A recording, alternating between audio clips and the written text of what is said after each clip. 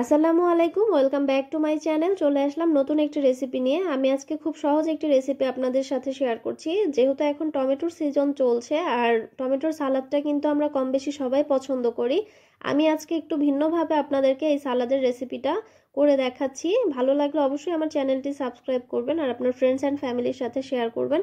চলুন কথা না বাড়িয়ে মূল রেসিপিতে চলে যাই। টমেটোর সালাদের জন্য এখানে আমি নিয়েছি দুই কোয়া রসুন। রসুনটা আমি পুড়িয়ে নিয়েছি আর নিয়েছি কাঁচা মরিচ কুচি, এক টুকরো লেবু, ধনে পাতা কুচি, একটি বড় সাইজের পেঁয়াজ কুচি, স্বাদ মতো লবণ। আর এখানে টমেটোগুলো আমি এরকম স্লাইস করে কেটে নিয়েছি। আপনারা চাইলে এর চেয়ে মোটা বা পাতলা করতে পারেন। আর এখানে আমি একটি প্লেট নিয়েছি সালাদটা মাখানোর জন্য। প্লেটের মধ্যে এখন আমি পেঁয়াজ, লবণ, ধনে পাতা রসুন, কাঁচামরিচ সব কিছুই দিয়ে দিচ্ছি।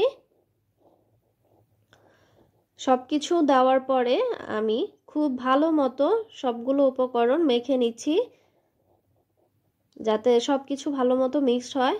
আমার ভিডিওগুলো ভালো লাগলে প্লিজ লাইক দিবেন, কমেন্ট করবেন, আর আপনার ফ্রেন্ডস অ্যান্ড ফ্যামিলির সাথে শেয়ার করবেন। আর সালাদ তো নর্মালি আমরা সবাই করে থাকি, যেহেতু এখন টমেটোর সিজন চলছে। এইভাবে করার অনুরোধ থাকল। এখন সব কিছু মাখা শেষ হয়ে গেলে আমি এতে টমেটোটাও অ্যাড করে দিচ্ছি। টমেটো দেওয়ার পরে আমি সব উপকরণের সাথে টমেটোগুলো ভালো মতো মেখে নিচ্ছি যাতে সব কিছু টমেটোর মধ্যে ভালো মতো ঢুকে যায়। যত ভালো মাখতে হবে তত কিন্তু খেতেও মজা লাগবে। ভালো মতো মাখা শেষ হয়ে গেলে আমি যে লেবুটা রেখেছিলাম, ওই লেবুটা এখন আমি অ্যাড করে দিব।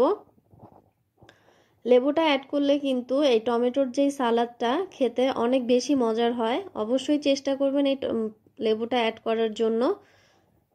আর এই সালাদটা কিন্তু খালি খেতেও দারুণ মজার লাগে। এছাড়া ভাত, খিচুড়ি, পোলাও যে কোনো কিছুর সাথে অনেক মজার লাগে। একবার ট্রাই করার অনুরোধ থাকল যে, আপনারা ট্রাই করে আমাকে জানাবেন যে কেমন হলো।